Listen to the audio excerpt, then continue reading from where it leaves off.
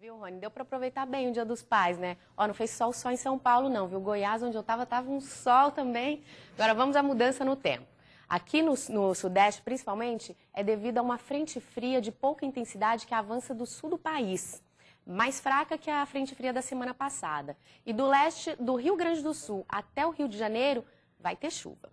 Por aqui o tempo fica fechado também. Para você ter uma ideia, amanhã, Rony, a temperatura não passa dos 18 graus aqui em São Paulo.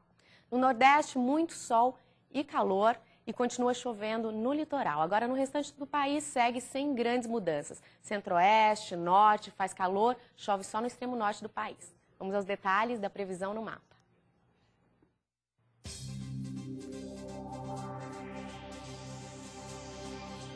Confira agora como fica o tempo em todo o Brasil. No norte, faz calor e sol em praticamente toda a região. Chove a qualquer hora do dia em Roraima e no norte do Amazonas. No nordeste, o sol brilha forte e não chove no interior da região. E uma frente fria no mar deixa o tempo fechado, com chuva a qualquer hora no litoral e também na zona da mata entre Alagoas e a Paraíba. No centro-oeste, o sol brilha forte, faz calor à tarde e não há expectativa de chuva. Baixa umidade do ar, principalmente no Distrito Federal e em Goiás. E no sudeste, uma nova frente fria que chega do sul provoca o aumento de nuvens sobre o litoral de São Paulo e derruba as temperaturas. Nas demais áreas da região, o sol aparece forte.